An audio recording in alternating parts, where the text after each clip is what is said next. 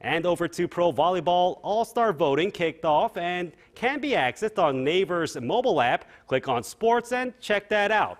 But now let's get to the action.